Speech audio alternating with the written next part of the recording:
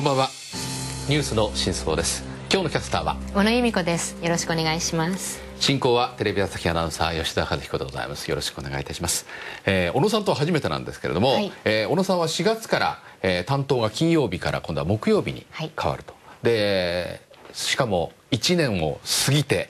い。かがでした、はい、そうですね。いろいろありましたけれどもやっぱりどんな海外のニュースでも普段はあまり触れることのないようなことでもじっくり詳しくお伝えすることができて毎回楽しみです、はい、深く掘り下げるニュースの真相、はい、ということでございますね、はい、え今日はまずはこちらをご覧ください。えミャンマー最大の都市ヤンゴンの様子です。半世紀近く非民主的な政権が続いたミャンマーでここ数年徐々に民主化の動きが始まっています海外の資本も最後のフロンティアとして注目し投資が殺到し建設ラッシュが始まったと言われています。ミャンマーは1988年軍がクーデターを起こし軍事政権が成立し野党勢力 NLD のリーダーアウン・サン・スー・チー氏が軟禁されます。しかし2010年スー・チー氏の自宅軟禁を解除し11年には軍政もピリオドを打った形になり民主化の動きが始まりました。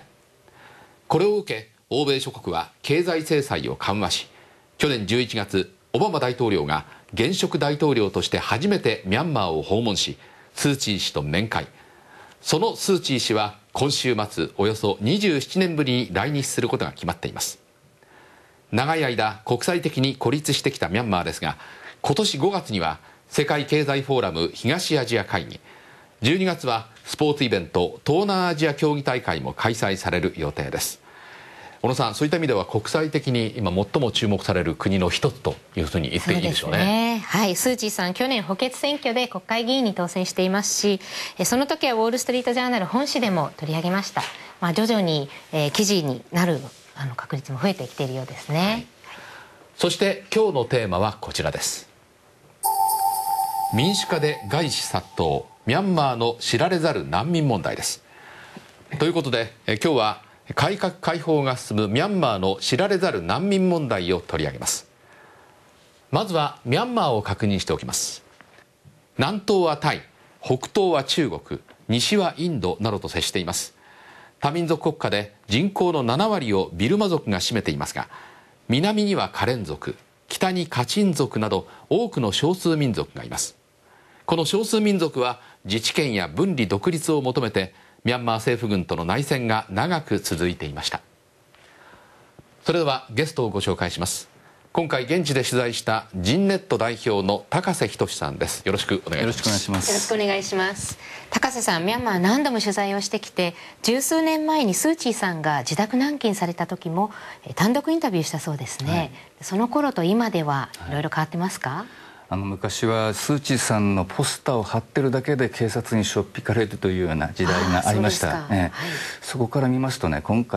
って非常にびっくりしたのはもう雰囲気が非常に明るくなってて、えー、スー・チーさんの家の前にはもう外国人ツーリストがやってきて写真を撮ってるし、えー、スー・チーさんの T シャツであるとかマグカップあるとマグカップだとかですね、ね、そういうスー・チーグッズが売ってるし、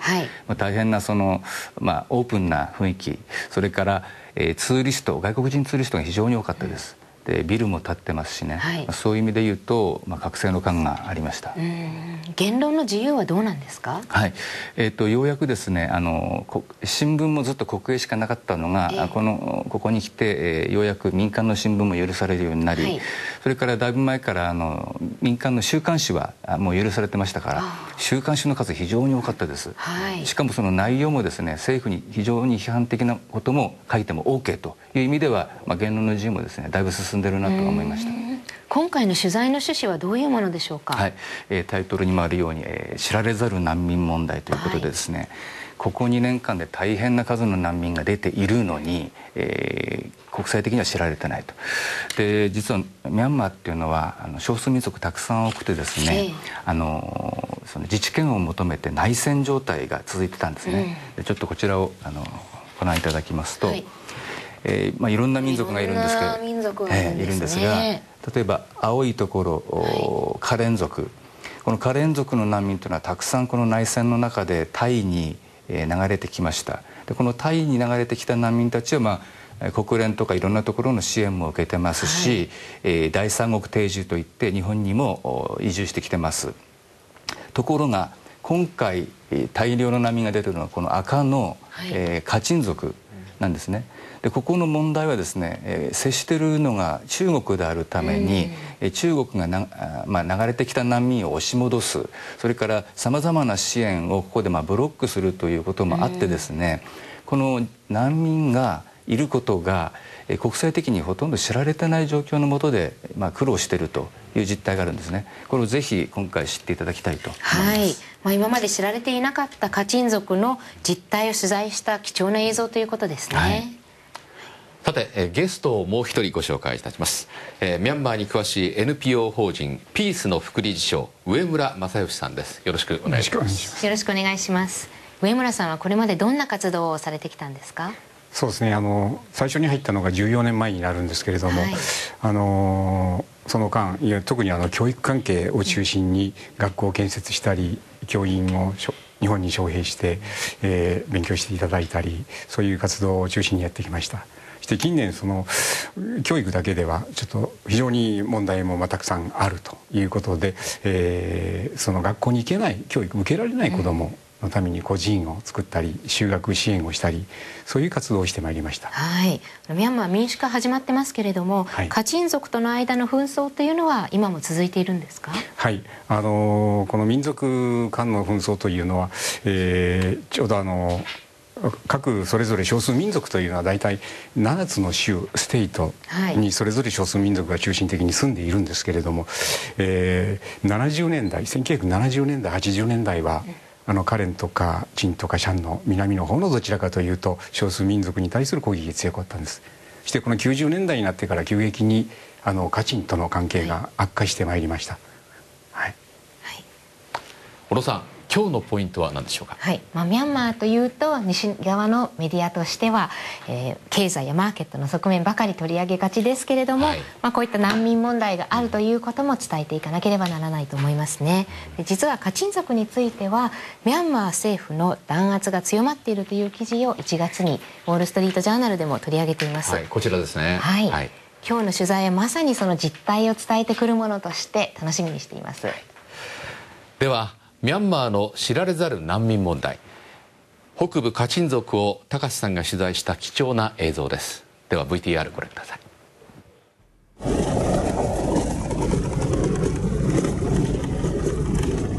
私は今中国の雲南省を走っています、えー、このまま陸路でこれから、えー、ミャンマーのカチン州へと抜けていきます。ミャンマー北部のカチン州では故郷を追われたたくさんのカチン族の避難民の姿があった。しかしここには国際的支援はほとんど届いていない。一体なぜなのだろうか。中国との国境にあるカチン州のライザ。人口2万人の国境貿易の町だ。ここはカチン族の自治権を求めてミャンマー政府と戦ってきたカチン独立機構 KIO の本拠地だ。その指揮下にカチン独立軍 KIA があり街には兵士の姿が目立つ。これから前線の近くの方にあの向かいます。軍人さんに案内してもらいます。ライザからわずか数キロのところに最前線があった。向こうの山の上にミャンマー政府軍の駐屯地があるという。そうそうそうその辺その辺、うん、その辺カチンロケット。カチンロケット、これこれはカチン独立軍 KIA は小銃など多くの武器を独自に開発し生産している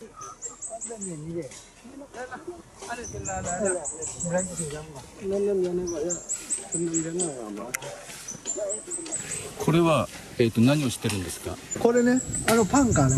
パンカーああ残壕がずっと続いてます。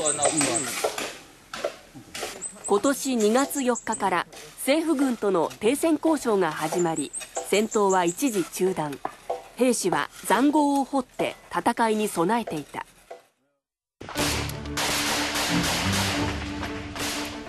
カチン独立軍 KIA は1962年結成されミャンマー政府軍と戦闘を繰り返してきたが1994年に停戦した。1988年にミャンマーの実権を握った軍事独裁政権は野党勢力 NLD の指導者アウン・サン・スー・チー氏を自宅軟禁するなど民主化運動を弾圧し国際社会から大きな非難を浴びた。しかし2010年スー・チー氏の自宅軟禁を解除 Well, I, my role in Burma, I hope, is that of a good citizen. 2011年にテイン・セイン大統領が就任し軍事政権に終止符が打たれ民主化や経済改革の取り組みが始まっている今ミャンマーは最後のフロンティアとして外国からの支援や投資が殺到し世界から注目を集めるようになった。しかしそのミャンマーが抱える未解決問題が民族問題だ。多民族国家であるミャンマーは人口の7割をビルマ族が占めているが他にカレン族やカチン族など135もの少数民族が住んでいる。その少数民族は自治権や分離独立を求め南部に住むカレン族は1947年にカレン民族同盟を結成しミャンマー政府軍と武装闘争を繰り広げてきた。カレン族の難民は国境を接するタイに流入しタイや国境のキャンプにはおよそ14万人が避難しているという。また避難民を受け入れる第三国定住も行われている。そしてカレン民族同盟はミャンマー政府と去年1月実に63年ぶりの停戦合意に達し南部の少数民族問題は一つの進展を見せた。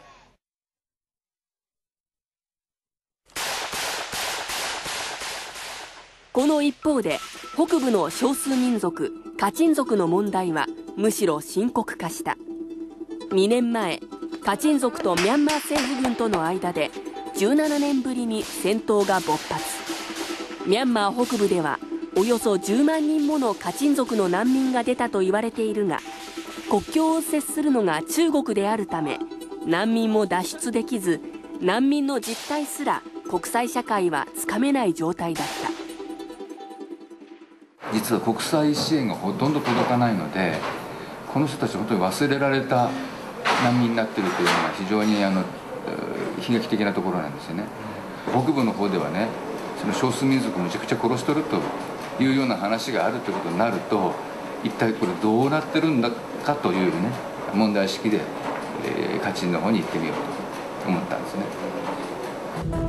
今年2月こういう情勢の中高瀬はミャンマー北部カチン族が住む地域に入った。カチン独立軍 KIA の兵士たちは2年前に再開した政府軍との戦闘についてこう語る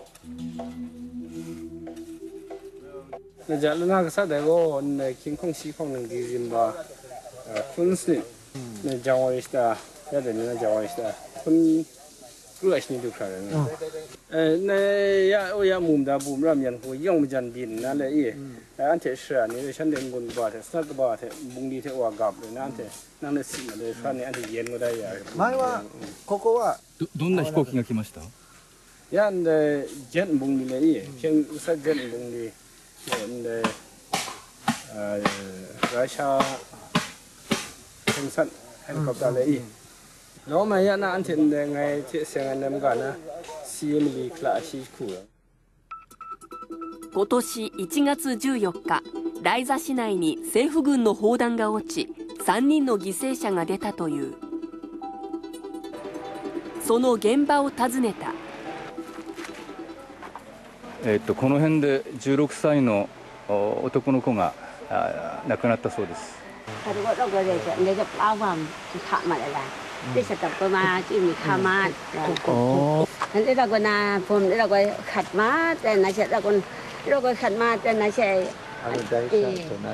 ああ町が砲撃受けたのって初めてですかえええん。でこしん。なん。でん。で今回だけおざん。がこよざん。がれん。がでさなわくてむらしろがで2年前に再開された戦闘によりミャンマー北部で10万人の難民が出ているという。カチン族が住む村から大量の住民が避難し多くはカチン独立機構 KIO 支配地に流れ込んだ。ライザ郊外のジェイヤンカ避難民キャンプ。ここには2011年7月以降50以上の村から8000人を超えるカチン族が避難してきて生活している。あ本当だ。一家族。二家族。三家族か。大変だね。ハローおばあさんが。うんおばあさんが。このキャンプに暮らすようになり最も長い人で1年半だという。ここは夫婦と子供5人の7人家族が住んでいる。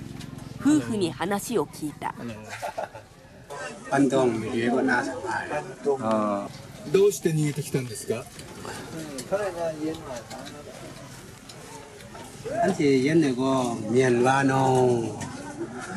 จึงดีจึงรัดเดนะอันที่มิวสมิธสิงเลนะตุกชัดกับชัดตุกเลยนะฉันที่ตันนะตุกเริ่มนั่งยิ่งกว่าไม่ก็ปีชัดในปีครุบไปอั 안지 기심이 저 방안이 저거 응 안지야 응단은 주야 주야 나가라지 안지 그 바니 웬 키우라는 안지 방농 방농만 봐 음, 야, 그러 성에 가래 뭐이고 안테 에 구심사 구심사 고무 구시 아닌 거나 네. 안 누구님 ngày mà ngày vương thì ngày phải của luôn à Đã như là có giá gì đó để xây tiền nó bằng cả một cái cảm xúc rồi. Cái tâm rồi anh đem nhận du giao vào của anh thì phải miếu chờ thì phải lắng thì là anh thì phải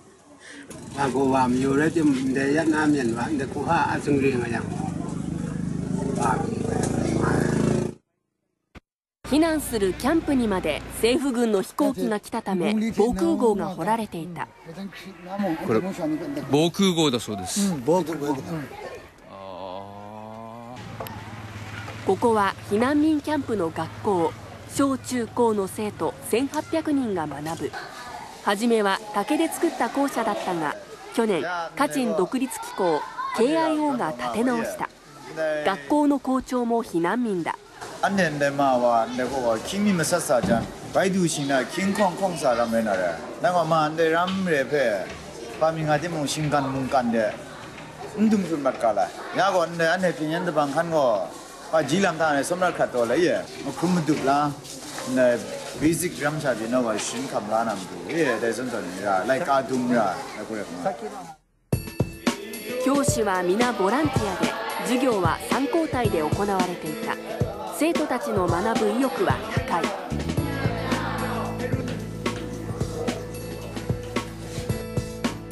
キャンプにある病院では薬や医療器具も不足していた。ボランティアの看護師とキリスト教の慈善団体の寄付などで運営されている。プロキングエゴ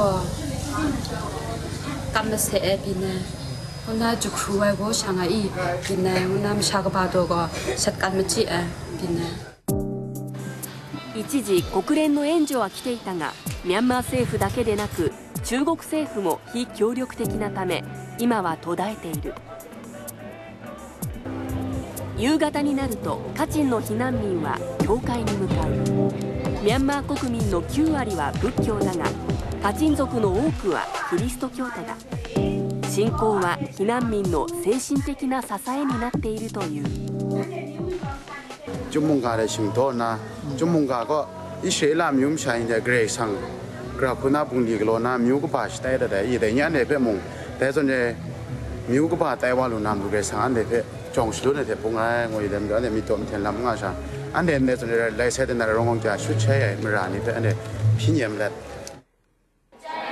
平和な日常が戻るようにと祈っているという。ライザ市内にある別のキャンプへ向かった。川の反対側は中国だ。カチンの避難民の多くは中国との国境近くに逃げてきた。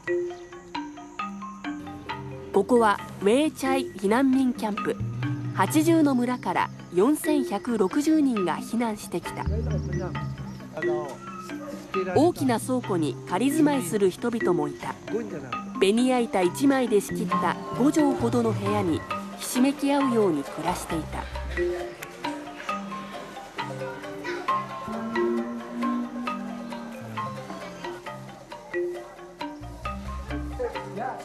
夫を政府軍に殺されたという女性がいた。一度は夫と子供5人と一緒にこのキャンプに逃げてきたというが hiện tại nào vào, chúng ta cần yêu à ngà na chỉ tập bù có miền sang ngày xưa miền gì gì là không mệt quá. Có già bù không xa rồi ya rồi. Ya yang chân gồm năng như độ xa xa na nó. Ngà ngà gì đấy ya yêu à sang à, ngà trong mong ya cái lễ gì ya đang còn ngà tiếng anh nhu như gọi cha cũng thọ cái mà anh tạm nhàm cho ya cái lắm mu gọi cả phú khăm xa gì mà このライザホテルにはカチン独立機構 KIO の本部がある。ライザホテルヤオトゥン氏はミャンマー政府が民主化を世界にアピールしながら少数民族の自治を認めない点で変化はないと語った。 mang khang phe mong sa ko ro pran kha rang dai lang go an the a ma tu amyo sha ni am tu kham de kha ngai lam chan lu yang go kap khat man chiking na ma ka mi de kap ma kap na ma ka mi de go ma ka mi de kap ma kap to nga san ma sat to nga ma ka mi de an the pong pan phong ma ko loi si chan lang lai se si chan lang phong ai go le mong chan de go an de kap khat chiking na sha sun ne an de go มงสามจอเปลี่ยนเลย มังคังเรื่องจอมงสาเตพรันก็อุนะแต่ใครส่วนไหน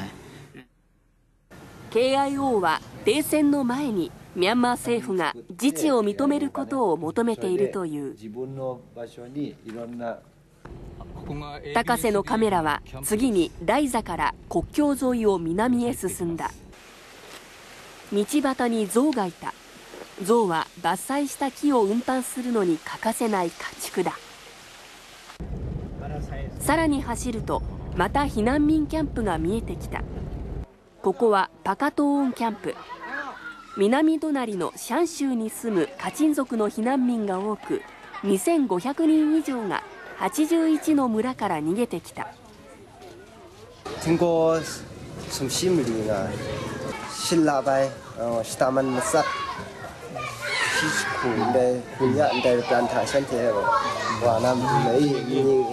听过从西米里呢，新拉白，呃，是他们萨，西苦的苦呀，的 plantation 的，哇，那没民营的民，啊，民营健康系统的。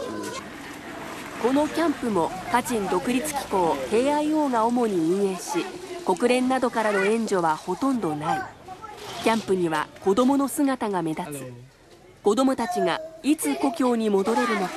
誰もわからない。夜のライザ市内毎晩平和を祈るろうそく行進が行われていた。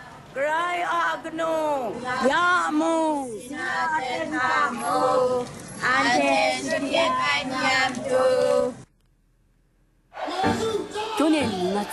アウン・サン・スー・チー氏は総選挙の補欠選挙の選挙運動のためカチン州を訪れ少数民族との対話を積極的に進めていく意向を示した。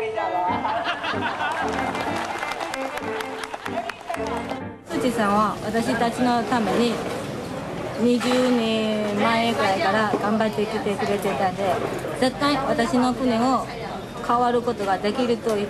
人はスーチーさん一人しかいないと思っています。カチン族の一部にはスー・チー氏への期待を口にする人もいた。またスー・チー氏は去年6月タイの難民キャンプを訪れカレン族のリーダーと面会するなど少数民族問題へのアプローチも進めている because I was just studying conditions in the refugee camps. And of course, peace talks have to be conducted because peace, or rather lack of it, is the main reason why they are refugees.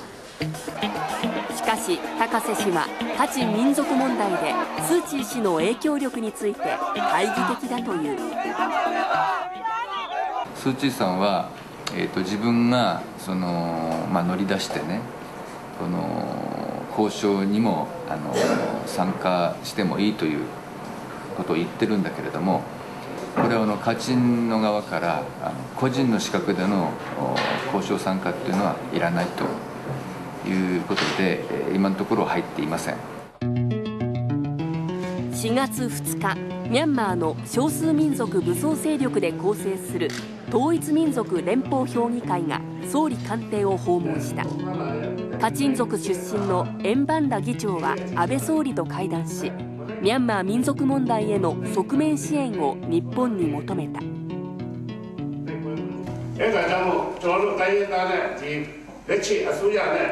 နိုင်ငံချင်းဖြစ်ရှိမှုကြည်ကြည်တွေဖြစ်တဲ့အထိဒီဂျပန်နိုင်ငံကလည်းဝန်ဖို့ကိုညီဖို့အထူးပဲတောင်းဆိုခြင်းဖြစ်တယ်えーまあ、日本はあミャンマーに対して、えー、少数民族の皆さんを含む、えー、多くの地域においているですね貧困の、えー、これ解消、えー、そしてまた人材の育成また、えー、発展していくためのインフラ整備、えー、この3つの分野においてですね、えー、日本は協力を進めてまいりました。 また後から進めて経済解放が進むミャンマーの知られざる難民問題。10万人とも言われるカチン族の避難民が故郷に戻る日はやってくるのか。難民問題解決のため日本は何をできるのか。徹底検証する、えー、まさに本当に貴重なあ VTR でございましたけども。えー、まずそれではミャンマーとカチン族の経緯をまとめてみます、えー、1947年まだイギリスの植民地だったミャンマーでビルマ族代表のアウン・サン将軍スー・チーさんのお父さんですがこのアウン・サン将軍がカチン族ら少数民族代表と会談しイギリスから独立した後少数民族に自治権を与えることを約束します。これがパンロン協定です。翌年ビルマ連邦が独立します。しかし1961年、えー、ネウィン将軍による権力奪取の動きが出てくるとカチン独立機構 KIO が設立されます。1988年中央で軍事政権が成立し1994年軍事政権は KIO と初めて停戦に合意します。停戦の見返りに軍事政権は自治を認め KIO は独自の軍隊や行政機構を維持しました。2009年軍事政権は少数民族の武装組織に対し国境警備隊へ編入するよう要求します。これを武装組織は拒否。2011年6月政府軍はカチン独立軍へ攻撃を開始しわずか2年でカチン族の難民が10万人を超える事態になっています。高瀬さん、カチン族の難民キャンプに入って、はい、戦争しているような様子はありましたか、はい、あの難民に聞きますとね、ええ、この長い間の中で今回の攻撃が一番ひどいと、うん、ここ2年の攻撃が一番ひどいと言ってました。大体あの難民キャンプの中にですね、え、防空壕を掘って、ね、いつでも戦争に備えてるっていう状況ですから、はい、これはもうあの歴史上一番激しい戦闘が行われていると言っていいと思うんですね、うん、私が行った時はたまたまですね何回かその断続的に行われている停戦交渉のあの1回のまあ、間だったので、えー、その時はあの戦闘は行われていませんでしたけれども、まあ、飛行機ヘリコプターまで使った攻撃っていうのは、もうこのこの長い歴史の中でもなかったと皆さん言ってましたね。あ難民の様子はどうだったんですか、はい、やはりもちろんその基本的なあその食料品医療品、まあ、足りないんですけども私が印象的だったのはですねやっぱり教育をもっとちゃんとしてほしいっていうふうに皆さんおっしゃってて。はいあの先ほどもあの VTR で出ましたけどもパソコンもないし図書館もないと。で非常にその学ぶ熱意の高い生徒さんと見てますとね、まあ、なんとかしてあげたいなと思いました。はい、あのカチンの難民は国外へ避難できないんですか？はい。あの実はですねえー、っと中国に、えー、漏れて出てきているということがあるんですが、うん、これ地図をご覧ください、はい、えー、中国にだいぶ、ね、はい、あの赤いところがカチンですがここから漏れたんで出たんですが、うん、難民として中国が押し返しました、はい、しかもここにはあの国連の支援などもですね中国がブロックしたりという経緯がありまして、えー、援助が届きにくいと。でまああの外に逃げたのを、まあ、難民といって国内に、まあ、今逃げてますから国内避難民というに厳密に言うんですけど、実態は同じですけどね、はい、であの今そういう意味で言うと非常に、えー、孤立して大変な状況になるということですね。うん、今大体あの8万人ぐらい、その KIO 地区にいて、はい、それからあのミャンマーの政府側に2万人ぐらいいると言われているので全体で10万人ぐらいいると言われてます。あ、はい、そうですか。もうあの上村さんね、はい、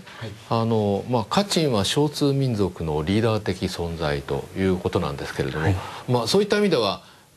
かなりいわゆる抵抗も激しいんじゃないかなというふうに思われますけれども。そうですね。あのそれぞれの少数民族の組織の中であのカチンは最もしっかりしているというか、うん、非常に自治権を非常に強く持ったあの組織でした。うんしてこれはあの例えば道路建設からいろんな公共施設まで KIO が実際自分たちでやっていると。いうような組織でもあり財政的にな非常に背景も非常に強くあの非常にこうそういう点ではあの独立心の強い民族であり、あの組織でございましたですね。はい、はい上村さん中国側は難民問題にあまり熱心ではないんですか、えー、あの熱心というよりあまり触れたくないクローズアップさせたくないいろんな要素があるように思います、はい。えー、一つは、まあ、あのあの軍事政権の当時から中国はミャンマー政府と非常に仲良しでもあったという背景、それからあの中国国内にカチン人が今高橋さんがおっしゃったようにいるということは自国のやっぱり少数民族に振り火の粉が飛んでくる可能性もなきにしもあらずと。いうことで非常にあの中国も少数民族には問題には非常に過敏ですね、はい、あとカチン族にキリスト教徒の VTR でも非常に多かったですよね、はい、あそこがとても印象的でしたけれども。そうですね。あのカチンにかかわらずそのカレンにおいてもあのシャンの方においても少数民族は意外とあのキリスト教徒キリスト教徒といっても、まあ、大きく分けてあのローマンカトリックとバプティストによるんですけれども、はい、そしてその宣教師がその山岳地域に来て少数民族を中心に布教したという経緯がございます。うんあ、はい、そうだったんですね。えー、あの仏教徒が多い中で、ね、とても印象的でしたね。そうですね。はい。さて国際人権団体はですね、ミャンマー政府にカチン族への無差別攻撃をやめ、えそして難民への人道援助機関のアクセスを許可するよう求めています。そして中国政府には難民を送還せず国連などの難民へのアクセスを認めるよう求めているんですね、えー、それではなぜ、えー、政府と KIO の停戦協定は破られたのでしょうか。KIO の発表によりますと2011年6月8日、えー、政府軍将校が KIA 支配地域に無断で侵入したため拘束されます翌日午前3時政府軍が KIA 前線基地を攻撃し上等兵を拘束。KIA は反撃せずに後退しますが政府軍が進軍したため午前7時に応戦し停戦が終わりを告げます。その後政府軍が捕虜交換を申し入れ KIA は拘束していた将校を解放しますが政府軍は KIA の上等兵が戦闘で負傷し死亡したと説明。返還された遺体を調べると死後3回撃たれた形跡もあり拷問による死亡だったことが判明します政府側は会見で KIA から攻撃を受け兵士と水力発電所を守るためやむなく応戦したと強調し KIO は地域住民を無理やりライザに集め人間の盾として利用していると非難しました。上村さんあのこうした真相は藪の中だと思うんですけれども、はい、カチン族にとってはこの1947年のパンロン協定で自治権が約束されたと思ってるわけですよね。にもかかわらず守られていないという思いが強いんでしょうか？そうですね。あのその点が非常にあの彼らには強くあの思っています、うん、えー、まああの政府軍があの最近になって非常に急激にそのカチン地域に侵入してきた、はいはい、そしてそれはあの江南いろいろ武力ばかりではなくていろんなその土地の所有問題、うん、その他さまざまなところで、えー、入ってきている。そしてその背景にはその人種差別宗教差別を公然とやってきていると。そういうところから相当にあのそういう木が熟してきていたというようなことが考えられます。なるほど、はい、停戦合意への壁はもう一つあります。2008年の憲法です。この憲法では政府軍はビルマを指導する立場としており国会議員の25%は軍関係者と決められています。複数の大臣の指名権で国軍最高司令官が持っており軍事政権は放棄したとされているものの軍の影響力は依然として強いと言われていますあのカチンなどの少数民族は自分たちが持っている武装組織をこの国軍に編入するよう条件を出されているんですね。上村さんこれはなかなか飲みにくい条件なんでしょうか？そうですね。あの現場の話を聞きますと非常にそのただその独立を彼らの KIA が独立した形であのその仕事をするとい。うのではなくて、はい、もう徹底的にその国軍の中に組み込まされていくというような、えー、システムであるというふうなことが彼らに理解できるようになってそれでそれはノーと。いう結論を下しました。ああやっぱりミャンマー軍に使われてしまうような形になるのが嫌だという思いが強いわけですね。はいはいさて、えー、ミャンマーのテイン・セイン大統領は和平のためのロードマップを出しております。これは3段階に分かれておりまして第1段階は州政府と停戦協定を締結第2段階は連邦政府と協議し政党を作って選挙に参加し武装組織を政府軍に編入すること。第3段階は政府民族指導者政党などの全ての当事者が参加し議会で協定に署名するという内容です。一方アウン・サン・スー・チー氏は全土での停戦政治的対話による解決真の連邦制民主国家の実現というロードマップを示しています。はい。まもなく来日するスー・チーさんがどこまで影響をあのはっきりできるのか、高瀬さんはどう見てらっしゃいますか、ロードマップではなんか綺麗な言葉並んでますけども、うん。そもそもカチン人がですね最近になってスー・チーさんにすっかりその幻滅してですね、うん、期待してないという状況がありますのでえー、スー・チーさんの役割って非常に限られると思うんですね、はい、えー、最近行われたあのビルマ、まあ、ミャンマーの軍の創立記念日に、うんスー・チーさん出ましてね、ええ、私は軍が好きだというふうに発言したりですね、はい、最近やっぱり政府と一緒になって国づくりをするというあの立場になってますから、うん、だんだんそのカチン人の方もですねこれはもう無理だろうということであのどんどん心が離れていってると、うん、今度あのスー・チーさんが来日する時にもですねえー、っと日本にいるミャンマー人の、まあ、集会というか、まあ、歓迎会が開かれるんですけれどもこれにも日本にいるカチン人、数百人いるんですけれども、えー、全員ボイコットするということを決めました。はい、はい、随分これは期待をしていないというかそこを向いてしまっているわけですね。えー、で上村さん軍と政府は一体ではないということが出てきたと思うんですけれども、はい、これについてはいかがですか、えー、おっしゃる通りですね、まあ、これまでもあの9回にわたって、えー、和平交渉というものが設定されてきたんですけれども、あのーその政府軍の代表ですねあのピースセンターというあのアン・サン・ウアン・ミン大臣が率いるグループなんですけれども、はい、そことの交渉をしているんですけれどもあのなかなかその非常に一向にその進行しないんですね内容が。その大きな理由はその彼らが出してくる約束したことは全然守れない。して、まあ、典典型的な例が例えば、えー、大統領ない大臣がもう戦争をやめますと、はい、言ったその日にもう爆撃がある、はい、攻撃がある。やめないということなんですね、はい、政府がやめると言っているのに軍はやめないと。はい。なるほど。今年で一体あのどこを信用していいんだろうと、うん、KIO としては、うん、というようなことで非常に不信感が募っている、うん、という状況です。まあ、そうなると日本の役割はどこかにないのかということになるわけなんですが。では、えー、この問題で日本が何をできるかちょっと考えてみましょう。2012年4月ミャンマー少数民族代表団が来日し日本政府に仲介役として協力を要請しました、6月日本の外務省はミャンマー少数民族福祉向上大使を笹川洋平日本財団会長に移植します。今年4月ミャンマー統一民族連邦評議会が訪日しカチン族出身のエンバンラ議長が安倍総理と会談。そしてミャンマー民族問題への側面支援を求めました、うん、上村さんこうした少数民族の代表は日本に何を期待しているんでしょうか？ね、あの期待するものは非常に大きいと思いますけれども、はい、そこそれがどこまで彼ら自身が実現可能かどうかと希望することと彼らが期待すること。少しちょっとずれがあるかなと。いうようにも思います。で日本側は交渉を本気でこの仲介する気はあるんですか？うん私の知るところ非常にその建前論で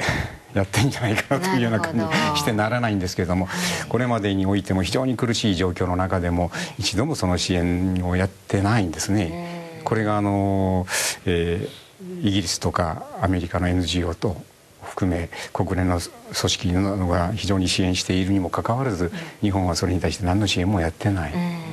そしてこの段階でというような今更っていう感じはなきにしもあらずです。経済ということを考えると少数民族よりも政府に向いているという、はい、そういうことですね、はい、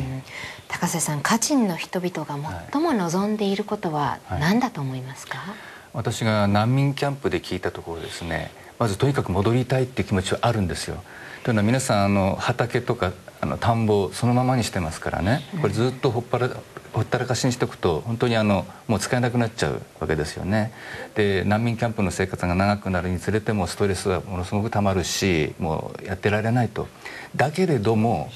今村にはそのミャンマー軍がいると、うん、こういう状況ではねいくら戻りたくても帰れないと言ってるんですね、うん、ですからやはりまずもう基本的に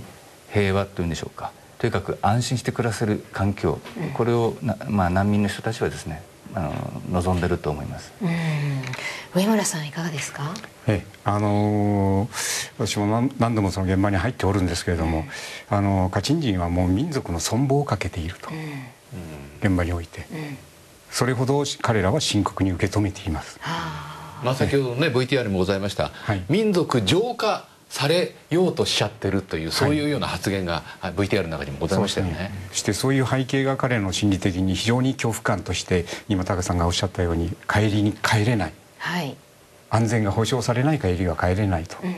いうようなことになろうと思うんですね。でもそのためにはとにかく、えーと、民族自治がきちんと認められるという前提が必要ですよね。そうなんですね、うん、でもその意味では今ミャンマー自体がやはり民主化政権とは言いながらも相変わらずそのいわゆる国軍が、えー、いわゆる政権をなんか、えー、掌握してるみたいないわゆる軍事政権時代とあまり変わらない状況だというそういうことになるわけです基本的には変わってないように思います、まあ、地方に関しては、まあ、ヤンゴンでは少しだいぶ変わっているような状況を見受けられますけれどもカチンに関してははっきりとまだ全然その政府軍の意見なりスー・チーさんの意見なり全然そこには届いていない。ですから、ね、ヤンゴンの開放的な雰囲気とこのカチンでのね悲惨な情景っていうのはもう全く好対照で私たちこれをどういうふうにねあのあのミャンマーっていう国を見たらいいのかっていうことを考える材料にしていただきたいと思います、ね。うん、この民族自決ってねおっしゃったんですけれども、はい、このカチン族は武器などあのさっきありましたよね、はい、あれはどうやって調達しているんですか、あの自分たちで作っております。作ってるんですか？はい。ああどこかから、ね、支援団体などがあるのかなと思ったんですけれどあの先ほどねあの放送にありましたようにあのカチンの KIO 支配地域というのは、はい、中国国境そしてあとはもう全部そのミャンマー政府軍に抑えられている地域ですからあの地域というのはもうそういう調達することは非常に難しいですね。うんだから自分たちで作るしかないと。それはだただ誰にでも作れるようなものではないかと思うんですけれども、ええ、先ほどもあの申しましたように KI A、KIO の力はなかなかなもんです。うん、そうですか。えー、チーク材とかですね、翡翠とかさまざまな資源もありますよね、あそこね。えー、だからそれを、えー、売って生活をするということですか？どのようにしてこのね、いくらなんでも作れる技術があったとしてもその資金ですとかいろいろ必要だと思うんですけれども。そうですね。あのもともとその蓄財がたくさんあったと、ええ、KIO 自身がそれまでにたくさんのお金を持っていたというようなことなんですけどあの、まあ、税金で、えーいただくのはそんな大したことはないんですけれども資産としては非常にたくさんのものがあったということ。そして最近あのレアアースとかいった地下資源も発見されてそういったもの。そしてあの電力もあの KIO は自給していたんですね価値に関しては。うん上村さんこういった少数民族問題というのはどのようにしてそうすると解決すればいいのか大きな問題だと思うんですけれども、はい、いかがですか、ね、あのそういう意味ではロードマップっていうのは大切なんですけどまずあの少数民族が今あの家賃は非常にまとまっていますけれども、えー、それ以外の少数民族っていうのは今こうバランバランな状態なんですね。うんこれがやっぱり非常にそれぞれがまとまりそしてさらに少数民族がまとまってそしてそういう中ではっきりとした力として、はい、えー、政府の中に発言できるような場を作る。これがやはり一つの大切なことなんじゃないかなと、まあ、そういう意味では先ほどのロードマップは非常に素晴らしい、はい、あの あの、ね、ロードだと思うんですけれども、まあ、それが可能であるならば そうなんですね。最終的には連邦制という形で民族がきちんと尊重されるような政治体制が必要なんだと思います。うん、そうですね。まあ、ミャンマーといえば本当に今注目されていますけれども、知られざるこの一面というのもぜひ注目しておかなければなりませんね。はい、今日は貴重なお話をどうもありがとうございました。番組ではミャンマー大使館に対しこのカチン民族問題をどう考えるかそして難民への援助をどう考えるかなどの質問状を送りましたが期日までに返事はありませんでしたこの後はキャスターのコーナーウォール・ストリート・ジャーナルの読み方。